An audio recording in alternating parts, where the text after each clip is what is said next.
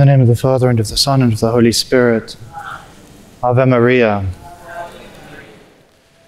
Welcome to this Church of the English Martyrs. You know, Our Lady, when she was crowned Queen of heaven and earth, the glory of the saints, she became the Queen of the martyrs as well. She was crowned Queen of Martyrs. Just before Mass, we sang the Litany of Our Lady of Loreto, and we hear Queen of Prophets, Queen of Patriarchs, Queen of Apostles, Queen of Martyrs. And we acclaim her as Queen of Martyrs, and we've crowned her here in this church, dedicated to the English martyrs. And so let's investigate this title of hers. Let's uh, penetrate deeper into its meaning so that when we come to pray that prayer and when we come into this church, we can understand more clearly Our Lady as the Queen of the Martyrs. When we read about heaven, we often read about the various groupings of saints. Um, there's a very ancient hymn that we sing, the Te Deum, where um, we sing, God is acclaimed, the glorious band of apostles praise you, the noble prophets praise you, you are praised by the white robed army of martyrs. And often, actually, in the art of the church, you can see, um, you know, if someone's painted heaven, they paint the Lord Jesus crowning Our Lady and the various groups of saints around her. You have the Franciscans, the Dominican saints, you have um, those who are martyrs, those who are um, apostles, all grouped together, all grouped together. So, what is a martyr? Who are these people who will meet in heaven and will recognize? Who are they? We know the names of the martyrs. We know that wherever the church is, there are martyrs. We know this. There is nowhere where the church is or has been that is without the blood of the martyrs. From the first outpouring of the Holy Spirit, what happened? Peter began to preach, the apostles began to preach, and we know, because we read in the Acts of the Apostles, that Peter and John were taken and flogged. And that was a persecution that culminated, that reached its high point, the very beginning of the church, in the death of St. Stephen, the first martyr. St. Peter and St. John were taken and flogged. The crowds left their coats with, Saint, with, with Paul, with Saul before his conversion, and they killed, they shed the blood of the first martyr, St. Stephen. And since then, the blood of the martyrs has flowed. We know from the ancient martyrs of Rome, from the beginning of the church, even to now, the church is suffering, and even now, martyrs are being made for Christ. Martyrs are offering their lives for Christ even now. And we can see the blood of the martyrs almost like a cross stretched across the world and into the past of the world, the history of the world, and into the present and even into the future. From the east, we know about the holy martyrs of Korea, of Vietnam, of Japan, all of the way across the globe to the west. We know even about the martyrs of the American wilderness who were put to death by the um, Native Americans. Wherever the church is, there have been martyrs. Now, a martyr is someone, we have this idea a martyr someone who suffers for their faith. A martyr is someone who suffered for the Catholic faith. The Catholic faith. And we hear so many stories of martyrdom.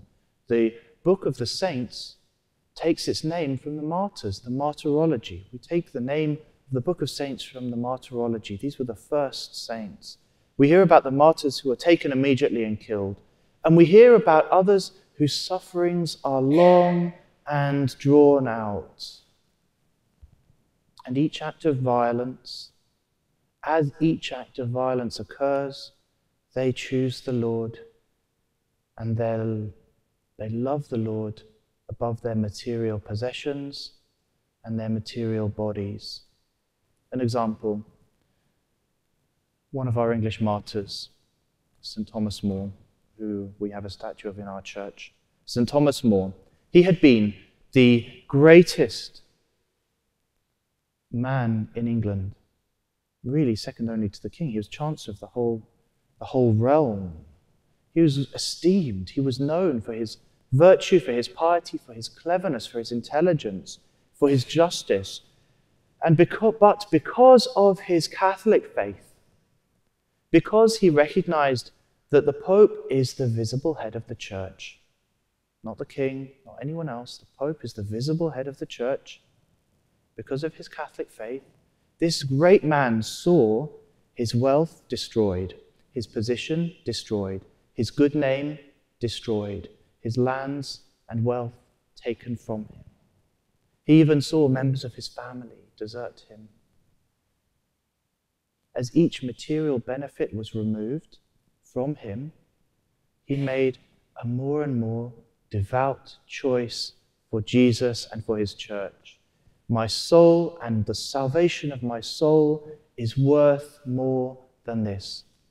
And each thing was taken from him until eventually he lost his body. This is the same is true of all the martyrs who suffered tra- terrible torments. My soul and the salvation of my soul is worth more than this. And we hear from the um, early church but actually um, it's a recurring theme in martyrdom that, that the tortures of the martyrs can be, can be awful. As each thing is removed from a body, as each agony begins and ends, my soul and the salvation of my soul is worth more than this suffering. This is the martyr's faith.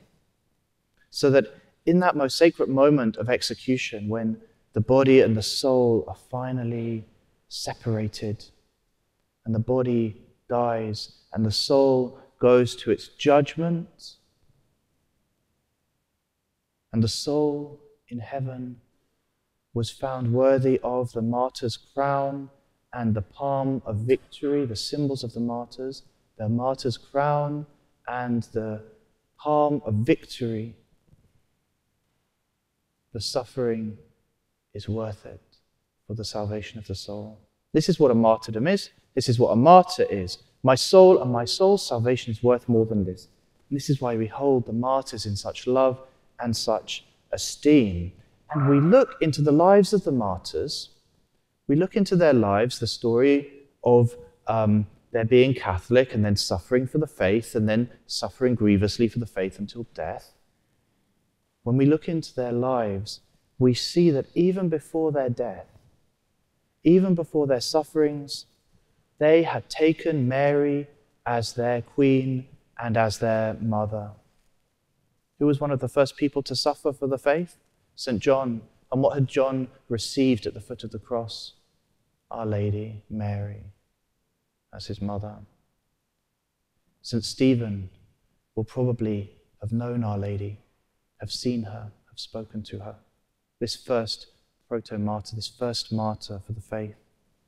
When we think of the English martyrs and the devotion and the love with which Our Lady was esteemed in this country, and with the love and, and devotion with which she was esteemed by the martyrs themselves, in her dowry, her as the Queen of England. Now think of this uh, Margaret Clitheroe, who was killed for teaching the Catholic faith Yes, she was teaching about the sacraments, she was teaching about the Mass, she was providing Mass in her home, the priest would come to her home. What was she teaching the children? The Hail Mary, the Rosary, teaching them that our Blessed Lady is Queen of heaven and earth. And for this, she was killed. In the accounts of the many martyrdoms, we read of the martyrs suffering on the scaffold in England, but across the world also, in many other places, repeating the names of Mary and Jesus, calling on them, consecrating their death to them. We read of the martyrs praying at that very moment of death the Our Father and the Hail Mary.